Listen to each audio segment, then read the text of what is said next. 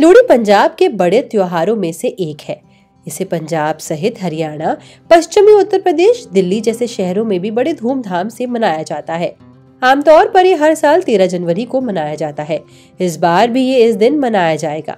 जानकारों के अनुसार अंग्रेज़ी कैलेंडर को छोड़ दे तो लोहड़ी को सूर्य के मकर राशि में प्रवेश से एक दिन पहले मनाया जाता है। सूर्य इस बार 14 जनवरी की रात को मकर राशि में प्रवेश करेंगे। ऐसे में लोहड़ी 13 जनवरी को ही मनाई जाएगी। वही कुछ मत ये भी है कि लोहड़ी को 14 जनवरी को मनाया जाना चाहिए। अब इस वीडियो में आपको बताते हैं लोहड़ी से जुड़ी कुछ पौराणिक कथाएँ। इस पर्व से जुड़ी एक कहानी है, जो दूल्हा भट्टी से संबंधित है। ये कथा अकबर के शासनकाल की है, जब दूल्हा भट्टी पंजाब प्रांत का सरदार था। उन दिनों लड़कियों की बाजारी होती थी, जिसका दूल्हा भट्टी ने विरोध किया और सभी लड़कियों को बचाकर उनकी शादी करवाई। तभी से लोहड़ी के दिन दूल्हा भट्टी की कहानी सुनने और सुनाने की परंपरा है।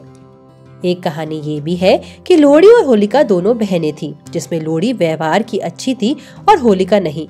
होलिका अग्नि में जल गई और लोहड़ी बच गई। इसके बाद से पंजाब में उसकी पूजा होने लगी और उसी के नाम पर लोहड़ी का पर्व मनाया जाने लगा।